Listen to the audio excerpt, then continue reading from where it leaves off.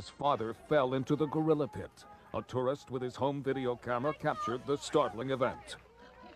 Five year old Levan Merritt lay unconscious at the mercy of a 450 pound silverback gorilla. The crowd watched helplessly. Never before had such an accident occurred. And never before had this full grown male gorilla encountered a human being within his domain. Only the worst could be imagined. But what was to unfold this September afternoon would astonish the world.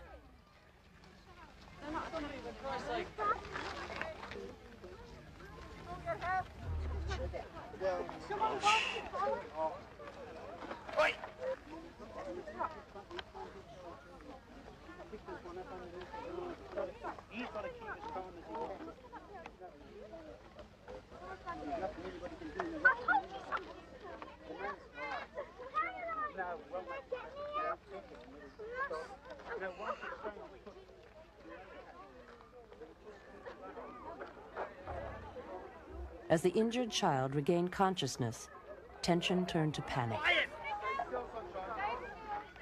Don't move, don't move.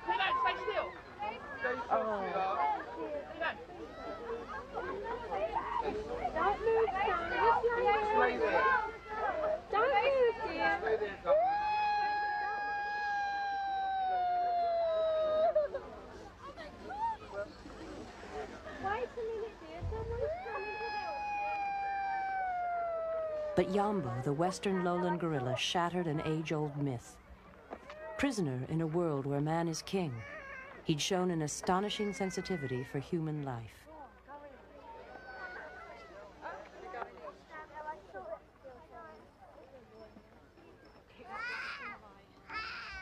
Levan Merritt was rushed to a hospital with only minor injuries.